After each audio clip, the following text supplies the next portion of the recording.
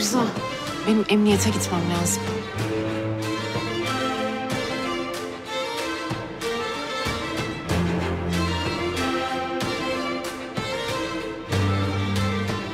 Ali Rıza? Ali Rıza ne oluyor? Ali Rıza? Ali Rıza ne oluyor? Ali Rıza? Ali Rıza ne oluyor? Durur musun? Ali Rıza!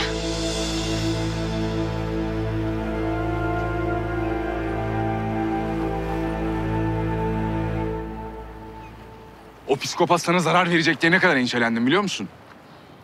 Ben sana endişelenecek bir şey olmadığını söyledim. Onunla sadece babam için görüştüm. O kadar. Halde sen benimle dalga mı geçiyorsun? Hayır dalga falan geçmiyorum.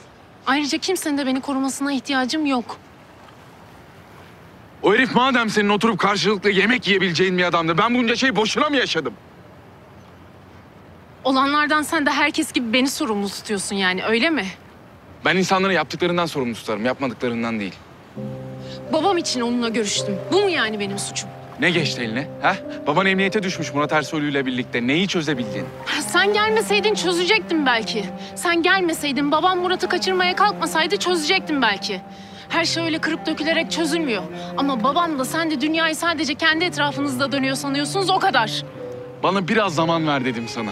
Sadece biraz zaman ver.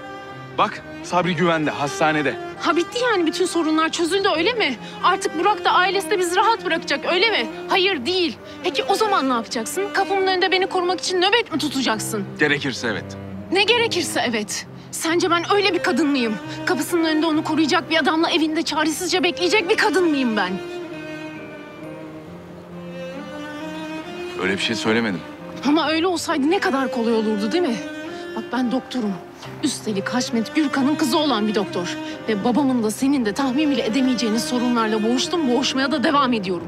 O yüzden kimsenin beni korumasına ihtiyacım yok.